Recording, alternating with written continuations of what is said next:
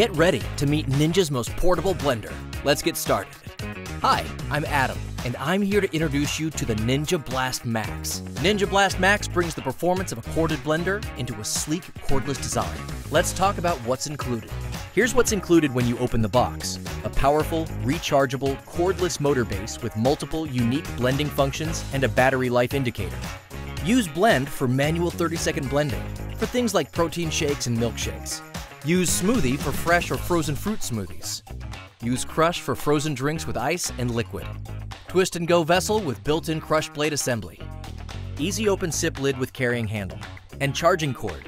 Let's make a mixed berry vanilla protein smoothie. First, turn the blender on by pressing the power button until the program LEDs illuminate solid white. Check the battery life indicator to confirm the motor base is fully charged. The power button LED will be solid green when fully charged.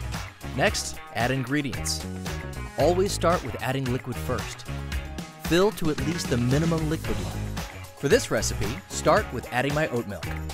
Add softer ingredients, like fresh fruit or protein powder. Last, add your tougher ingredients, like frozen fruit or ice. I'll add my frozen mixed berries at the end to make sure the blender blends those harder ingredients last. Put the lid on and press Smoothie. The Smoothie program is an Auto IQ program, which brings pre programmed pulses and pauses for a set time to deliver the best output. This blender is powerful. It can blend your favorite drinks like smoothies, milkshakes, or margaritas. It turns ice to snow with the performance of a corded blender, but cord free. After it's done blending, rotate the vessel counterclockwise and lift up off the motor base.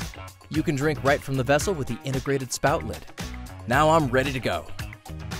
Looking for more recipe inspiration or have more questions?